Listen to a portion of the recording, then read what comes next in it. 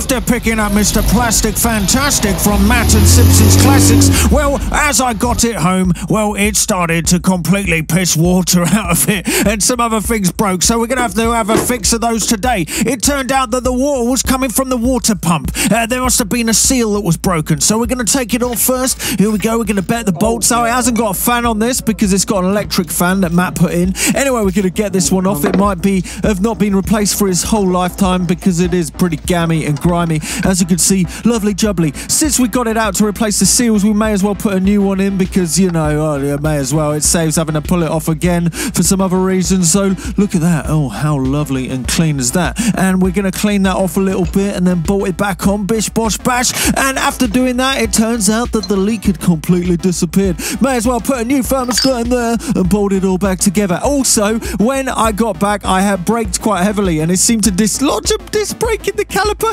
which without realizing, decided to cut a groove into the disc brake and into the disc brake caliper. I decided instead of having to spend a bunch of money trying to fix that caliper, since we were going to upgrade the vehicle and the engine a little bit later anyway, I decided to treat yourself. And I got some upgraded disc brakes because, uh, you know, I was going to get these later on anyway, so let's just get them now. So these are Mini Sports 7.9 inch, and uh, we're going to bolt them back together with some alloy flanges because, you know, why not race car and all that. Torque it up, make sure it looks all nice and tidy, and then put them back together. This is a, the, you know, a quick afternoon job. Disclaimer, don't follow this video. Make sure you know what you're doing. Anyway, we're going to uh, quickly, not torque it up, but we're going to bolt it up so we can actually bolt the disc brake pads on and brake calipers. Uh, torque that up, and then I realised that I made a mistake. I put the wrong one on the wrong way around because the bleed nipple's supposed to be at the top to let all of the air holes broke out through. And then we wait, we put back on the banjo brake hoses and we put on the disc brake pads after some copper grease and we put it all back together, torque it up, put the retainer clip in, put the wheel in, and then put it down and start working on the other one. But it's only in a very small garage, so we're going to move it around,